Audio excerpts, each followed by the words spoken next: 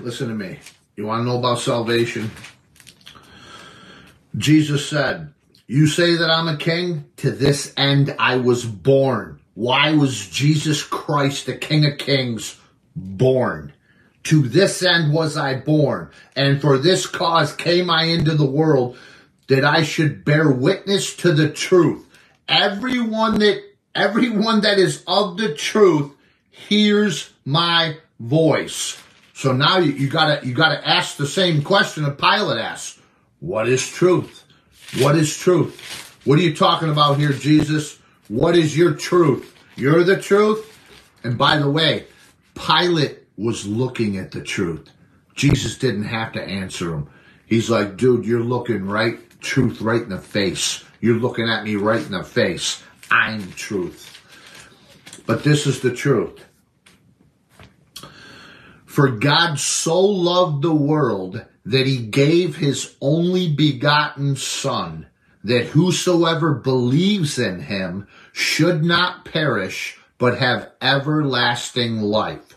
For God sent not his Son into the world to condemn the world, but that through that the world through him might be saved.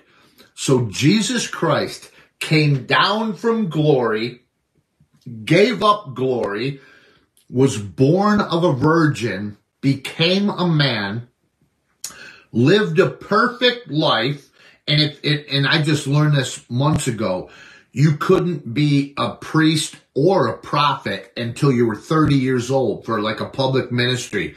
This is why Jesus started his ministry at about 30 years old, Luke chapter 4. So he lived a perfect sinless life. He started his public ministry at 30. He went about three and a half years. His own people and the Romans crucified him on a cross, beat him to a pulp. The Bible says his face was so turned inside out, you couldn't even tell that his countenance was of a man. This is what he did for you personally. He took all those stripes. He took the nails. He basically suffocated to death on the cross and took all that for the sins of the world that whoever believes in him, he washes your sin away in his blood. That's what he does. So when you believe in what he did for you, your sins are washed away in the blood. Now, only God could do this. So how do we know he was God and not just a man? People try to say, hey, he was just a man. He was just a man. He was a good man, but he died on that cross. But what happened three days later?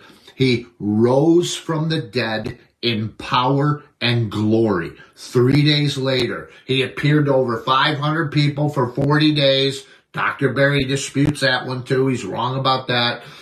And then he went up to heaven. He sits at the right hand of the Father and he's about to come back and get his church. So the gospel, the good news is you have to know you're a sinner and really nobody should have any trouble believing that.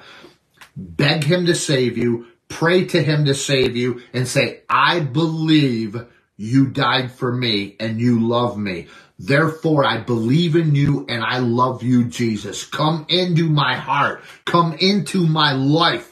Be my Lord and Savior. Save me now. I confess it with my mouth. I believe it in my heart and you will be saved.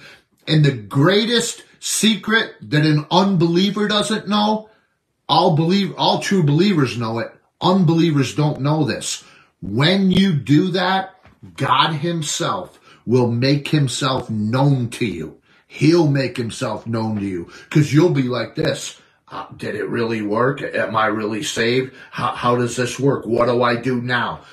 When it's real, God makes himself known to you, and then you will know that you are saved by Jesus Christ, the Lord and Savior of the world.